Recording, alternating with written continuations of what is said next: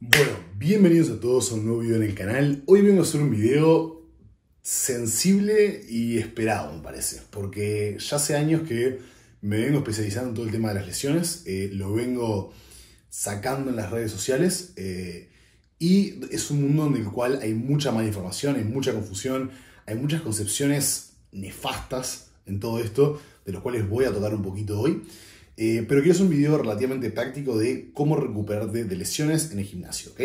Esto, aclaración, no quiere decir que debas prescindir de todo profesional de salud, que con este consejo sepas todo, eh, no quiere decir que sirva para todo tipo de lesiones, eh, es solamente una guía de consejo de cómo encarar estas cosas, porque en la mayoría de los casos no necesitas ir a ver al médico y lamentablemente en la mayoría de los casos, aunque vayas a ir al médico, muchas veces son dinosaurios kinesiofóbicos, kinesiofóbico, que quiere decir que le tiene miedo al movimiento, que te van a decir, no, no, descansar no hagas nada, hacer reposo por un mes. O peor, te van a decir, ah, te lesionaste por ir al gimnasio, está mal levantar pesas, anda a hacer pilates.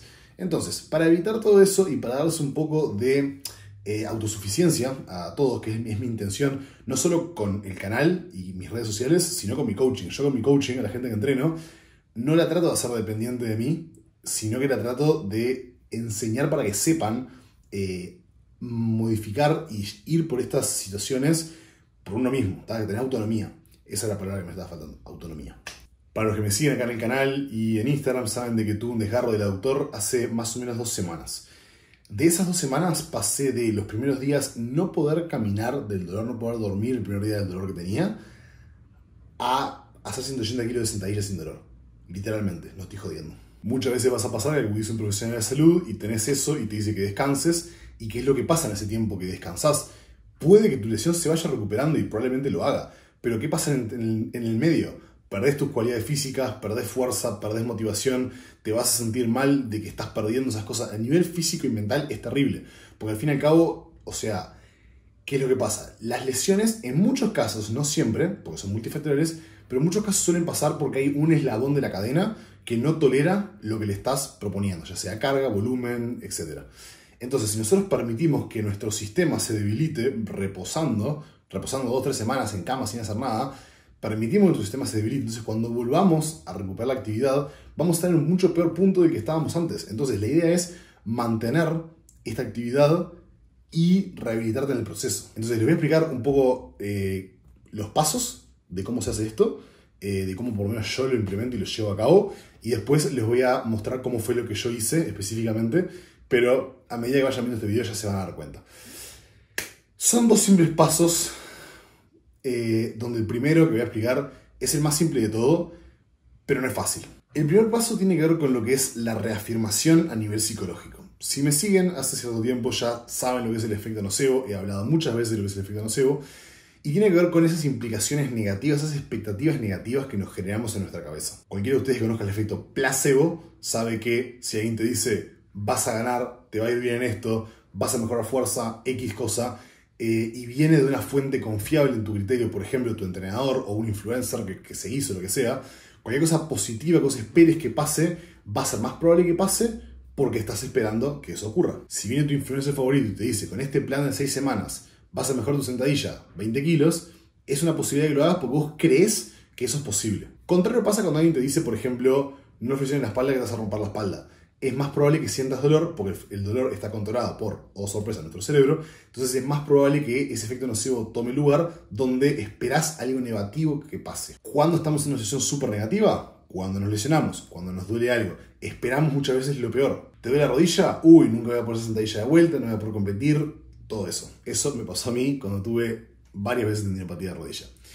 Entonces, ¿qué es lo que pasa? Las lesiones, junto con, a veces entras a las redes sociales, dicen, no hagas esto, te vas a romper, no hagas esto, es antinatural, te hace mal. Y ves toda esa montonera de humo en las redes sociales, o incluso médicos antiguos que te dicen, sí, no, porque las pesas son lesivas. Y todo eso te contribuye a que vos pienses que no te vas a recuperar o que todo lo que viene va a ser peor. Entonces, ¿en qué cosas aparte de la reafirmación? Consta en que la gran mayoría de problemas que puedes tener en el gimnasio son cosas en las cuales te recuperas en unas 2-3 semanas. Todo ese tipo de lesiones agudas, dolores musculares, dolores articulares, eh, fatiga, todo tipo de cosas se recuperan por lo general solas en un periodo de tiempo bastante corto y en lo general no necesitas ningún tipo de asistencia médica. Esto es importante saberlo porque parte de lo que hace que te recuperes es tu expectativa positiva para saber que te vas a recuperar. Si yo te digo, uy, te duele la espalda, nunca vas a poder caminar, capaz que te y no vas a poder caminar, y me crees, vas a tener un miedo que no vas a querer ni caminar, porque tenés miedo de que todo lo que hagas te pueda hacer mal. Es importante saber de que vas a estar bien, de que te vas a recuperar y de que moverte es la forma en la cual vas a hacer que eso pase. Y eso es lo que nos lleva al paso número 2, reintroducir movimiento. Este es el paso que es levemente más complejo que el paso 1. Por ejemplo, cuando le desgarré al autor, si yo no supiera de este mundo y alguien me dice reintroducir movimiento, ¿qué le voy a decir? Che, me duele caminar. ¿Qué hago? O sea, me duele literalmente lo más básico que puedo hacer, tipo, ¿qué, qué hago? ¿Cómo que querés que me mueva si no me puedo mover? Me duele. En mis primeros días, el único movimiento que tenía era el que están viendo en pantalla, era extremadamente reducido, pero eso fue por lo que empecé. Extensiones de rodillas isométricas también, y los únicos pasos que podía hacer más o menos sin dolor lo trataba de hacer, todo eso lo trataba de hacer. Días después pude caminar un poco más, pude incrementar el rango de movimiento de mis movimientos de sentadilla, pude incluir un poco más accesorios, más camilla de cuádriceps un poco más pesada, más isquios. Entonces, ¿qué pasos tomaría cuando en el momento tenés un dolor agudo? Por ejemplo, estás haciendo sentadillas y te empieza a doler la rodilla. ¿Qué haría? Este no es un orden escrito en piedra y rajatabla, pero por lo general empezaría por el peso. ¿Te duele hacer 140 kilos de sentadilla? Probá 120, te duele 120, probá 100, te duele 100, probá 80, ¿sí? Hay todo un rango de peso en el cual puedes hacer, en el cual vas a estimular un rango de movimiento completo, pero con una carga menor. Puede que ya esa carga menor te desensibilice el dolor y que puedas entrenar con esa carga menor. ¿Qué pasa si me decís, me duele hasta con la barra sola, hasta sin peso? Ahí lo que podemos explorar es el rango de movimiento. Suele ser el caso que la posición más comprometida es la parte de abajo donde hay más estrés en las articulaciones y músculos. Podemos probar, como hice yo en, mi caso, sentadillas a cajón o sentadillas a pines. ¿Qué es lo que hace eso? Corta ese recorrido en la parte más sensible del movimiento y nos permite tener peso en la espalda y entrenar todo el resto del rango. En mi caso, por ejemplo, me sirvió, porque tengo una competencia que se me viene, me sirvió para poder seguir sintiendo kilos en la espalda y no perder la costumbre de decir, bueno, dos semanas saco 180 y me pesa muchísimo. Puedo ahora sacar 180 y sentir como que no me pesa nada, como debería ser siempre, porque estuve acostumbrado a tener kilos en la espalda. Obviamente no tanto, pero pude estar acostumbrado a mantenerme adaptado a eso. ¿Qué pasa si te duele, aunque bajes peso, aunque sea barra sola. Te duele que cortes recorrido. ¿Qué es lo, lo siguiente que podemos incursionar? Podemos simplemente variar el ejercicio. Una sentadilla, barra alta, por ejemplo, estás haciendo, te duele la rodilla, podemos probar una barra baja que tiene menos torque en la rodilla. Una prensa, podemos probar una sentadilla búlgara con menos desplazamiento anterior de rodilla. Algo que sea un cambio de patrón de movimiento que nos permite ayudar en seguir entrenando sin ese dolor. Ven como siempre hay pequeñas cosas que se pueden ir variando para que permitamos el continuar ese entrenamiento y continuar eso a nivel mental de sigo estando en forma, sigo entrenando, no estoy perdiendo. Y a nivel fisiológico tu cuerpo sigue preparado para volver a un entrenamiento una vez que esa lesión se vaya. No perdemos nuestras capacidades, que es lo que más riesgo nos va a poner a, lesión, a reincidirnos en una lesión. Porque en muchos casos, como decía, la lesión se tiende a dar por estar débil en cierta parte, ya sea rango de movimiento, peso, tendones, volumen, etc. Entonces, si nosotros permitimos que nuestro cuerpo baje su capacidad, la posibilidad de que nos reiniciamos va a ser más alta. ¿Qué otro factor un poco más invisible es importante tener en cuenta? Que mucha gente a veces dice, le bajo el peso de esto, de otro, bien, después me vuelve a pasar. ¿Cuál es el problema? Muchas veces la gente tiende a hacer volúmenes muy altos sin tener muy cerca del fallo. Suele haber un cierto rango de volumen en el cual podemos tolerar y mejoramos y un cierto rango en el cual ya es demasiado para recuperarnos. Eso puede que no nos lesione, que no nos genere dolor el día 1, pero puede que lo haga a largo plazo. Aquí es donde entra algo que he hablado un millón de veces, que es la planificación. He hablado un montón de veces de la planificación y lo importante que es para mejorar tu rendimiento deportivo, para mejorar tu masa muscular.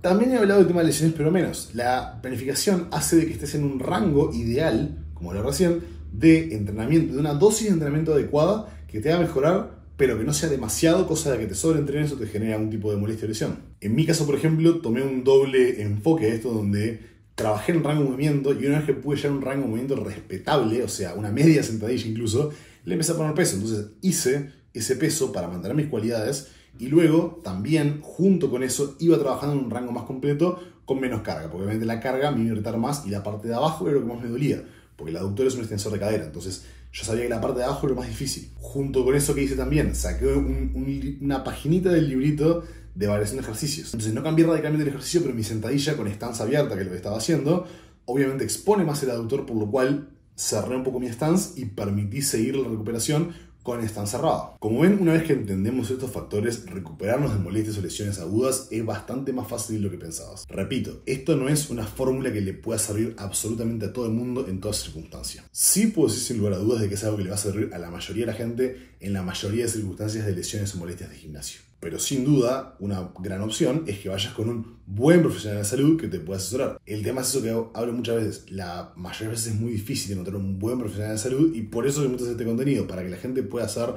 autosuficiente y manejarse las cosas. En este momento estoy a 5 semanas de competir eh, en el federal, que es el clasificatorio sudamericano, y ya esta semana casi que estoy volviendo a entrenamiento planificado normal. Así que sí, si haces las cosas bien y con conciencia, probablemente puedes recuperar mucho mejor de lo que pensabas y puedes ahorrarte muchos problemas mentales en el proceso. Espero que les haya servido el video. Déjenme en los comentarios que, si les gustó, si no les gustó, si tienen preguntas. Y bueno, estén al tanto porque estoy sacando programas nuevos en la página web. Eh, ahora estoy sacando el programa de hipertrofia máxima, especialización de brazos, que para donde está este video, o sea, para cuando sale este video, ya está el programa subido en la página web. Así que para que sigan por grandes y quieran sacar un poco más de tubos, los espero por ahí. Les mando un abrazo grande y cuídense.